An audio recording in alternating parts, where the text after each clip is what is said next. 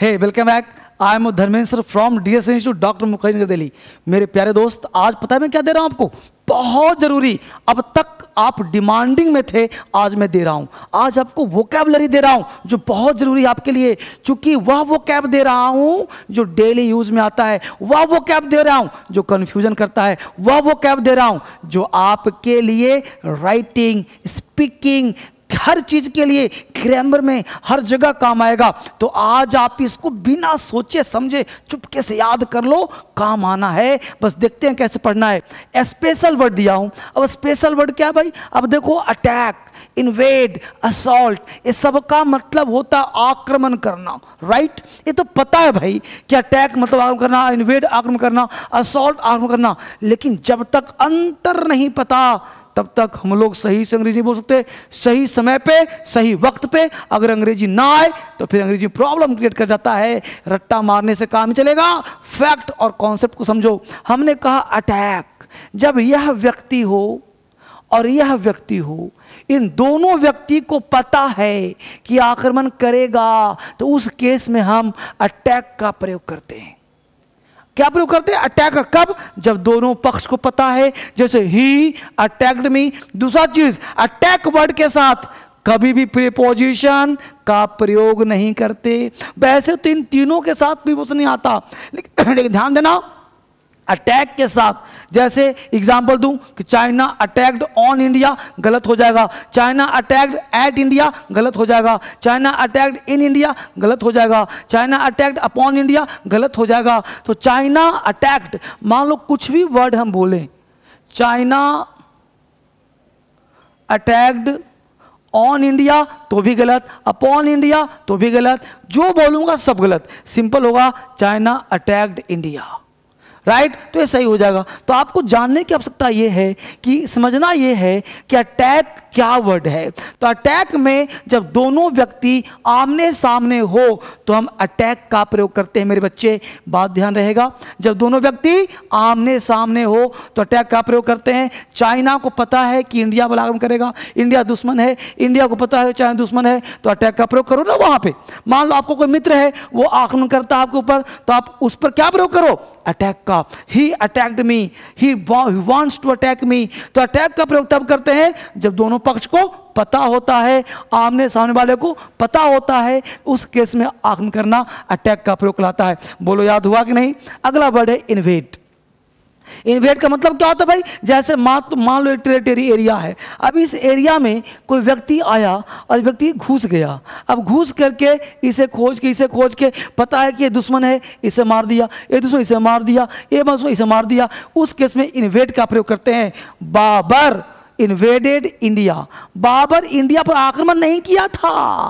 Babar India में आ गया था। इंडियन ने उसे बुलाया था कि आओ, आक्रमण करो, मिलकर के सभी विदेशी जो बाबर को बुलाया गया था, या नहीं बुलाया, मारो नहीं बुलाया तो इंडिया में आया था, आने के बाद आक्रमण किया था। वो इंडिया पर कोई बाउंड्री पर से आक्रमण नहीं किया था कि इंडिया वालों को पता था कि बाबर दुश्मन है, नहीं।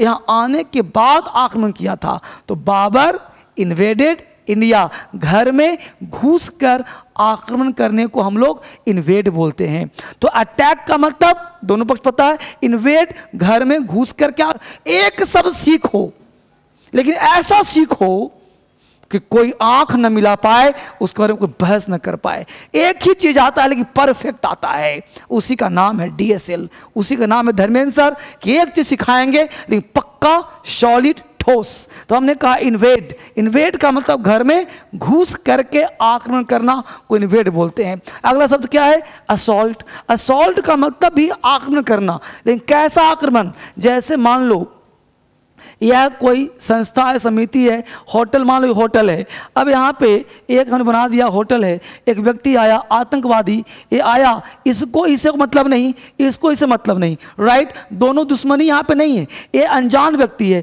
ये निरपराध है, कोई अपराध नहीं किया, ये गया, ये बॉम्ब गया, अपने भी मरा, इसको ही मार दिया। तो जन धन की क्या पहुँचाया? हानि पहुँचाया। तो उसके लिए क्या लगाएँगे हम? असॉल्ट असॉल्ट का मतलब क्या होता है? जन धन माल की हानि पहुंचाना। असॉल्ट कहलाता है। तो हमने कहा आक्रमण। भाई डिक्शनरी देखोगे, खोजोगे तो तीनों का हिंदी होगा आक्रमण करना, धावा बोलना। असॉल्ट का हिंदी मिलेगा धावा बोलना। क्या भाई?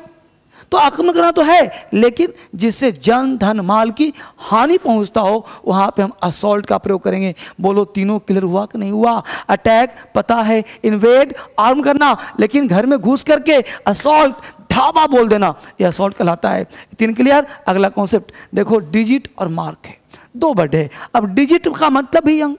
मार्क्स का मतलब भी अंक अब ऐसे मोबाइल नंबर है। मोबाइल नंबर कितने मार्क्स का है? कितने डिजिट का है? भाई मोबाइल नंबर दस डिजिट का है ना जी। उसमें टेन मार्क्स है नहीं ना? तो मार्क्स किसको कहते हैं? जो आपके सर्टिफिकेट में आते हैं।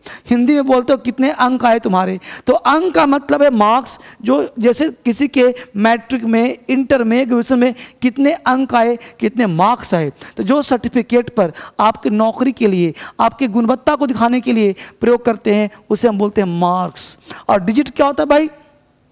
तो डिजिट एक एक अंक कर करके, जैसे दो, चार छ ये सब क्या है? एक एक डिजिट है. तो एक एक डिजिट को दो, चार छः आठ, ये सब क्या है? डिजिट है. इसे हम लोग अंक बोलते हैं. तो डिजिट का मतलब एक एक अंक एक एक लेटर एक एक को हम लोग क्या बोलते हैं? अंक बोलते हैं. राइट तो इसे हम लोग बोलते हैं डिजिट और अंक में मार्क्स में अंतर हो गया. अगर आप फिंगर और टो अब यहाँ पर ध्यान दो, आपके हाथ, उंगली ये भी है ना? और उंगली पैर का भी है ना तो हाथ की उंगली, पैर की उंगली। हाथ की उंगली, पैर की उंगली। अगर हाथ की उंगली है तो फिंगर का प्रयोग करो, हाथ उंगली। और अगर पैर की उंगली है तो टो का प्रयोग करो। क्या प्रयोग करो? टो का हम लोग सबको फिंगर बोल देते हैं, सर। तो अब नहीं ना बोलना है। आज तक बोलते थे ना, अब नहीं बोलना। हाथ की उंगली को फिंगर बोलते हैं। हाथ की उंगली को फिंगर बोलते हैं। और पैर की उंगली को फिंगर नहीं बोलते, टो बोलते हैं। क्या बोलते हैं? टो। अब लड़का देखा डिक्शनरी कि सर टो मतलब उठा दिया, गलत दिया। टो का मतलब उठा नहीं होता। यहाँ पे देखो, थम का मतलब हाथ का अंगूठा। हाथ के अंगूठा को थम बोलते हैं और पैर के अंगूठे को बिग टो बोलते हैं। Big toe. पैर के अंगूठे को बिग टो बोलते हैं। तो ये सब कोई बड़ा वोकैब नहीं है। वह वो कैब है कि आपकी पर्सनालिटी को इंप्रूव कर देगा। आपके घर में छोटा बच्चा है, उसके इंग्लिश इंप्रूव कर देगा। आज सीखो और इंप्रूव हुआ कि नहीं, शाम तक मुझे कमेंट करो कि हाँ सर इंप्रूव हुआ इंग्लिश एक दिन पढ़ो, हज़ार दिन सीखो, बस उसको जानने की ज़रूरत है और हर बच्चे को दो। ये मुझे पता है, पूरे भारत में सबको ज़रूरत है। इतना शेयर कर दो कि हर बच्चा सीख जाए। हमने कहा थम्ब हाथ का अंगूठा बिग टो पैर का अंगूठा थम्ब हाथ का अंगूठा बिग टो पैर का अंगूठा। अब अंगूठा दोनों है। थम्ब इसको बोलते हैं। ये थम्ब है। और पैर के अंगूठे को बोलते हैं बिग टो राइट उसको बिग टो बोलते हैं। अब देखो अच्छा सब अच्छा है। गुड बोलो वेल बोलो ऑल राइट बोलो फाइन बोलो। सब अच्छा है। गुड कोई भी चीज़ सामान्य मात्रा में अच्छा है। आई एम गुड अच्छा है। वेल कोई वेल एक एडवर्ब है। वेल कहीं भी है। है ना? ही इज़ राइटिंग वेल तो जहाँ भी वर्ब क्वालिफाई करना हो वेल का प्रयोग कर दो। ऑल राइट मान लो किसी मामले में, किसी चीज़ में, स्वास्थ्य के रूप में, किसी चीज़ में कोई बोलना हो तो हम बोलते हो आई एम ऑल राइट मतलब हर तरफ़ से सही है। है ना? Fine fine I am fine fine का मतलब एक कॉमन बोलचाल की भाषा हो गया, जो आप फाइन का प्रयोग कर सकते हो। वैसे सारे में आप अच्छा के लिए प्रयोग कर सकते हो। आई एम मैं अच्छा हूँ। I am fine I am good I am well I am all right तो सारे सेंस लगभग इक्वल होते हैं। अब मैंने शपथ लिया कि आपको सिखाऊँगा। सिर्फ़ ट्रांसलेशन नहीं, सिर्फ़ स्पोकन स्पोकन आने के लिए तो वो कैब चाहिए। नहीं तो अंग्रेज़ी कैसे बोलोगे? यहाँ पे हमने बात किया देखो छठा नंबर है, किनारा। अब किनारा का अंग्रेज़ी है बैंक भी शोर भी कोस्ट भी बॉर्डर भी, ये सबका मतलब किनारा। लेकिन नदी का किनारा बोलना हो तो bank he just staying at the bank of river तो नदी का किनारा हो तो क्या बोलेंगे? बैंक शोर समुद्र किनारा क्या बोलेंगे? शोर। लेकिन पानी का, जैसे मान लो ये पानी है, ये जल है तो यहाँ पे किनारा हो रहा हो, यहाँ पानी लास्ट कर रहा हो तो इसको हम बोलेंगे शोर। राइट अब ये यहाँ पे भी किनारा हो सकता है, यहाँ पे सूखा ज़मीन हो गया, ये ज़मीन ज़मीन सब है तो इसको बोलेंगे कोस्ट तो बैंक का मतलब नदी किनारा। ध्यान देना बच्चे बैंक का मतलब नदी किनारा। और शोर का मतलब समुद्र में जो पानी लास्ट किया ना, पानी लास्ट किया, उसके किनारे को शोर बोलते हैं। और समुद्र किनारा कोस्ट मतलब ज़मीन का किनारा, यानी ज़मीन जो है जहाँ लास्ट किया है, ये ज़मीन खालिस्तान है, उस किनारे को हम कोस्ट कहते हैं। और बॉर्डर मतलब सीमा, जो आपका बॉर्डर है, सीमा है, इसको जो मान लो बॉर्डर पे आर्मी रहती है, पुलिस रहती है, बॉर्डर पुलिस रहती है ना तो उस बॉर्डर को, ज़मीन का जो किनारा होता है, सीमा होता है, किसी देश का, मान लो इंडिया का ये सीमा हो गया तो इसको हम लोग बॉर्डर बोलते हैं राइट तो आप याद हो गया सारा चीज़? हमने बोला बैंक नदी किनारा शोर समुद्र किनारा कोस्ट समुद्र किनारा बॉर्डर सीमा, लेकिन अंतर क्या है? पानी के किनारे को हम लोग बोलते हैं शोर, और समुद्र का, ज़मीन का जो किनारा हो गया, उसको बोलते हैं कोस्ट, राइट, और बॉर्डर सीमा हो गया। अगला देखो, रे और बीम दोनों कहीं दी किरण होता है। अब हमको बोलना है सूर्य की किरणें। अब बताओ कि सूर्य किरणें तीखी है कि मीठी है? जो सूर्य का किरण है, उसको अपनी आँखों से देख सकते हो क्या? नहीं ना। तो सूर्य की किरणें तीखी है, अपनी आँखों से देख नहीं सकते, उसलिए रे बोलते हैं। रेज सन्स रेज, सूर्य की किरणें और बीम, मीठी किरणें। चंद्रमा को हम देख सकते हैं। चंद्रमा को आप अपनी आँखों से देख सकते हो, इसलिए उसको बीम बोलते हैं। उसे रे नहीं बोलते, लेकिन जिसको अंग्रेज़ी नहीं आता, वो रे बोल देगा, वो बीम बोल देगा। तो जानना है, सूर्य किरणें रेज, चंद्रमा की किरणें बीम, है किरण। लेकिन यहाँ क्या आएगा? सूर्य के लिए। यहाँ क्या आएगा? चंद्रमा के लिए। तो चंद्रमा का बोलना हो तो बीम बोलो, सूर्य का बोलना हो तो रे बोलो। याद हो गया? आगे देखो, हमने बोला हायर अब सबका मतलब किराया होता है। ये सारे वर्ष हायर मतलब किराया रेंट मतलब किराया फेयर मतलब किराया, लेकिन अंतर क्या है भाई? तो सर्वेंट अब तुमने सर्वेंट लाया है हायर करके। कितने में हायर किया इस नौकर को भाई? हज़ार रुपये में, पाँच हज़ार रुपये में तो हायर किया किसी स्टाफ को, किसी नौकरी के लिए तो हायर किया है रेंट रूम रेंट दिल्ली में रेंट पे रहते हो हाउस रेंट देते हो हाउस रेंट है, सब किराया है, और बस का रेंट नहीं देते, बस का फेयर देते हैं, बस का फेयर लिख दिया, देखो लिखा हुआ है, बस फेयर तो बस का किराया तो सबका मतलब किराया है, लेकिन अंतर है कि नहीं?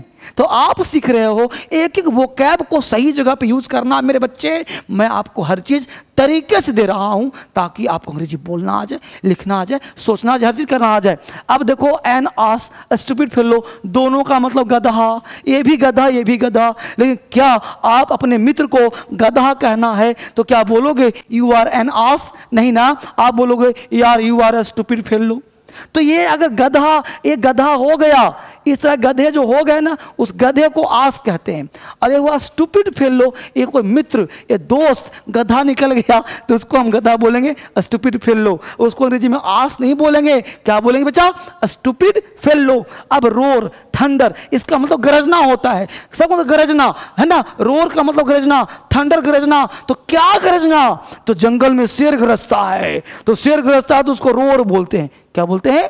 रोर, शेर गरजने को रोर बोलते हैं और बादल गरज लिख लो लिख लो कॉपी कलम में, थंडर, अगर बादल गरज रहा है तो उसको थंडर बोलते हैं। क्या बोलते हैं?